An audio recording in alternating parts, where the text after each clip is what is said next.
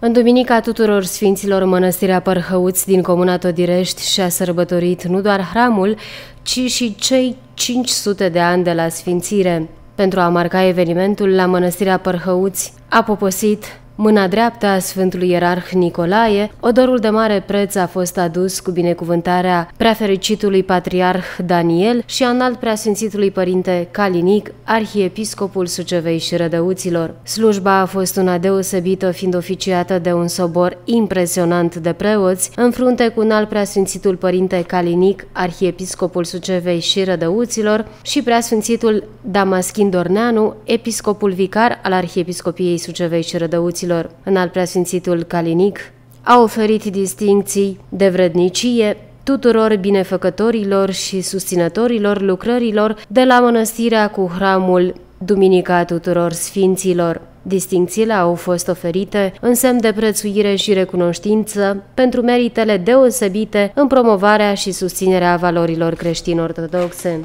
Cu de Dumnezeu! Credință și cu dragoste, apropiați-vă.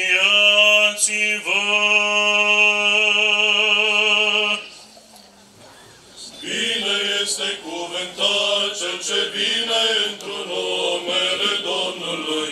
Dumnezeu este Domnul și s-a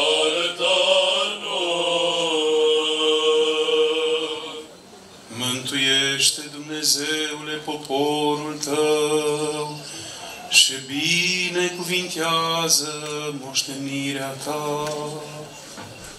Am văzut lumina cea adevărată, am primit Duhul cel Ceresc, am aflat credința cea adevărată, nedespărțite Sfintei Trăimi,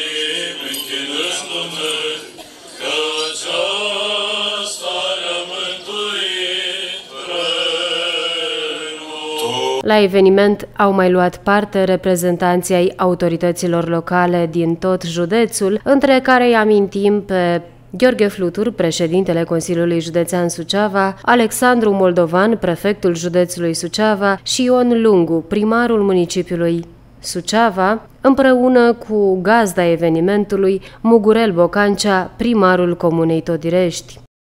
Eu vreau doar să vă felicit pentru această frumoasă zi de sărbătoare pe Valea Solonețului la Părhăuț. Mă bucur să văd multă lume în straie populare și vă îndemn să le purtați, pentru că este cartea de identitate a noastră, cum cartea de identitate este această frumoasă biserică, o biserică care arată vechimea dumneavoastră, vechimea noastră pe aceste meleaguri, credința noastră profundă. La finalul slujbei, preasfințitul părinte Ignatie le-a vorbit celor prezenți despre felul în care a luat naștere sărbătoarea închinată tuturor sfinților, a celor care și-au dăruit viața Mântuitorului Isus Hristos. Nu în ultimul rând, ierarhul a lansat un îndemn la urmarea exemplului celor care au dus o viață bineplăcută lui Dumnezeu fiecare dintre noi având ocazia să primească darul sfințeniei de la preamilostivul Dumnezeu.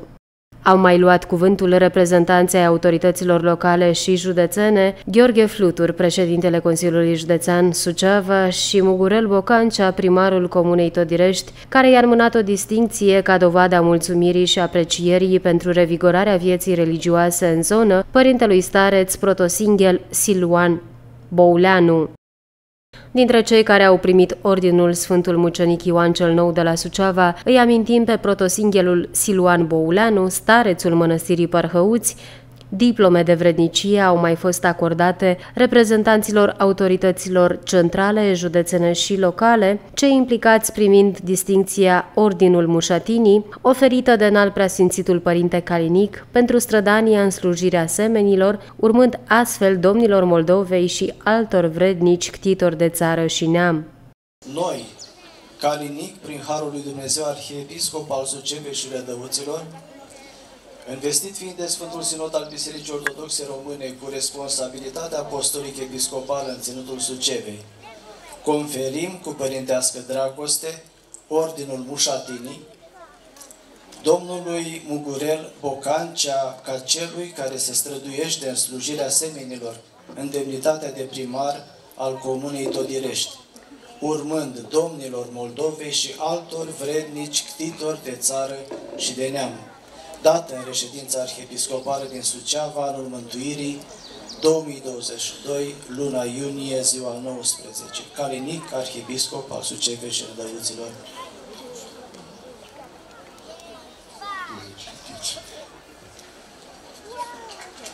O să spun. Aș dori să le mulțumesc uh, domnilor lor, celor evidențiați, pentru că ajută biserica, nu doar pe cea din Moldova, ci din toată țara. Și aici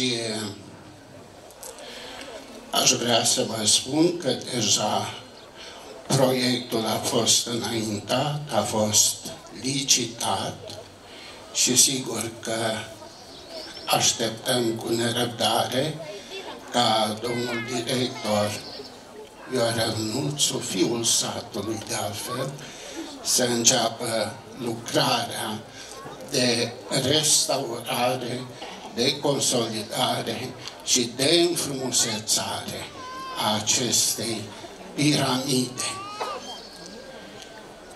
Și că piramidele au făcut parte din cele șapte minuni ale lumii. Asta e dincolo de piramide este una dintre cele mai frumoase biserici din Moldova și nu numai. De cele șapte minuni ale lumii considerate de filozofii antici sau cam ales praful. Vedeți că biserica a dăinuit 500 de ani, și continuă să o facă. Eu nu doresc altceva decât să ne vedem și peste 500 de ani cum va arăta biserica de aici. Doamne ajută! Vrednici sunt!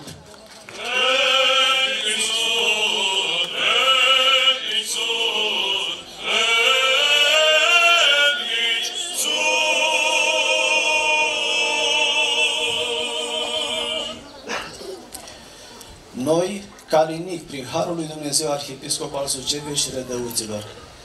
Investit fiind de Sfântul Sinod al Bisericii Ortodoxe Române cu responsabilitatea apostolic episcopală în Ținutul Sucevei, luând aminte la cuvintele Sfântului Apostol Pavel care îndeamnă ca fiecare să se silească pentru a se arăta încercat înaintea lui Dumnezeu, lucrător cu față curată, drept învățând cuvântul adevărului dar și care adeverește, cunoscut a Domnul pe cei ce sunt ai săi, în semn de prețuire pentru cultivarea valorilor creștine și activitatea mărturisitoare într Hristos și biserică, conferim cu părintească dragoste Ordinul Sfântul Mucenic Ioan cel Nou de la Suceava, Preacuviosului Părinte Protosinghel Silvan Bouleanu, Părinte Stareț al Mănăstirii Părhăuț, întrucât a urmat exemplul Sfântului Mucenic Ioan cel Nou de la Suceava, tânărul înțelepțit de Dumnezeu care și-a îndeplinit cu devotament slujirea sa și și-a fundamentat credința ortodoxă prin înțelegerea Evangheliei, mărturisind-o curajos